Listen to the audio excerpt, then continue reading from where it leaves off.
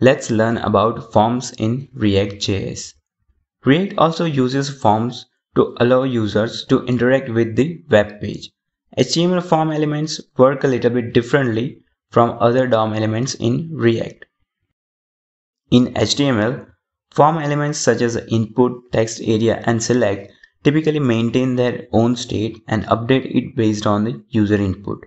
In React, mutable state is typically kept in the state property of the components and only updated with the setState method.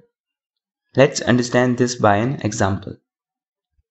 Create one file demoform.js and create a class component using React snippets by writing just RCC. Give this form any title, let's say a sign up form. We can create forms same as in HTML. First we will create only one field to test how this works. Create a label for name.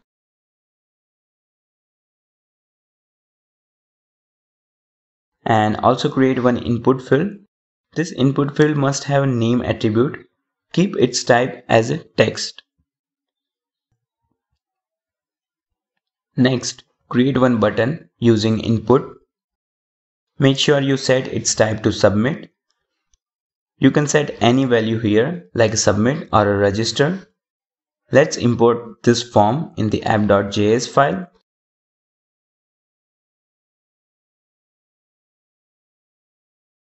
As I said earlier, React form doesn't maintain internal state, so we have to store each information in separate state. Create one state in the constructor, a state for name, and initialize it with an empty string. Now let's create one method called handle change. Using this method, we will manipulate state of the input fields. We have to pass e as an event in this method. And from event, we can extract name and value of a particular input field by using e.target.name and e.target.value. Let's log these values.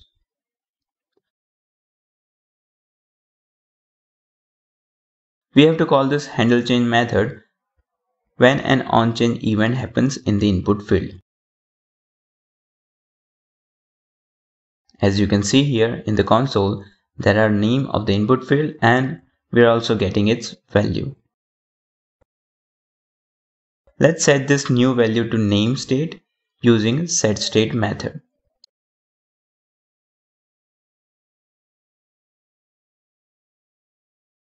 Now for onSubmit event of the form, we will create a new method called handleSubmit. In this method, we have to pass event.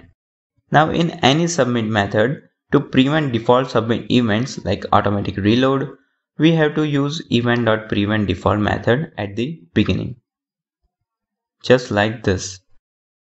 Let's alert the name state.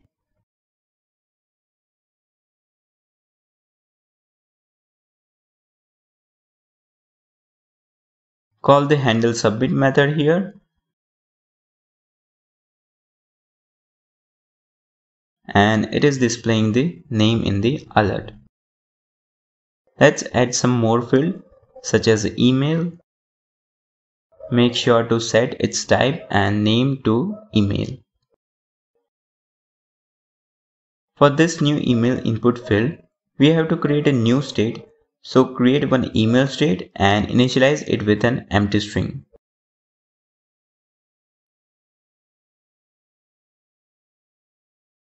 And in the handle change, we have to put a condition like if name equals name then we will update the name state and if e.target.name is equals email then we will update the email state.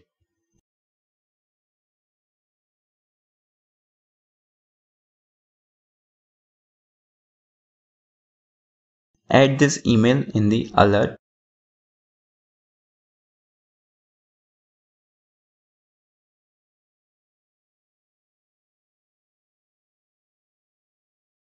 It's working fine.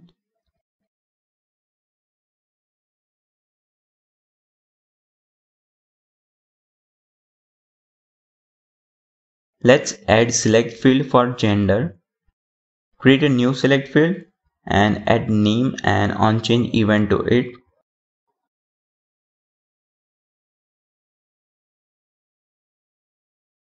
In the select field, we have to create a few options Create three options like male, female and others.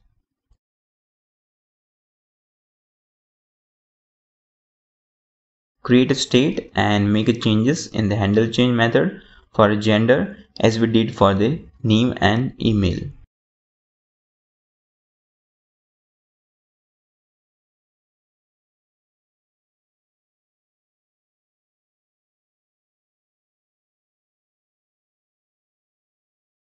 And it's displaying everything as expected. Now this method of setting state in handle change is not convenient if we have a lots of form fields. So instead of creating this individual states, create only one state called form. And inside this form state, paste this states as an object just like this. Remove all this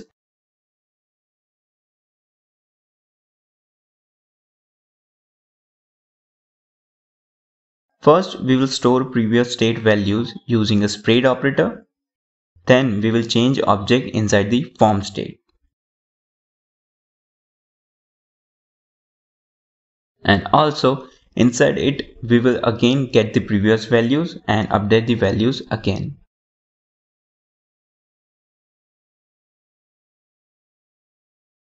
Let's log this form state. Let's understand this quickly. First, we have created a single form state and inside of that state, we have created one object having three different key value pairs.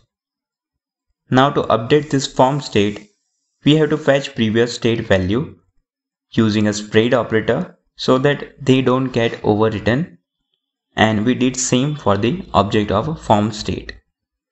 Let's try it out.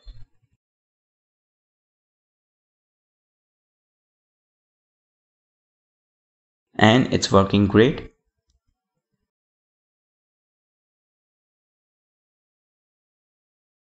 That's it for this video. Thanks for watching.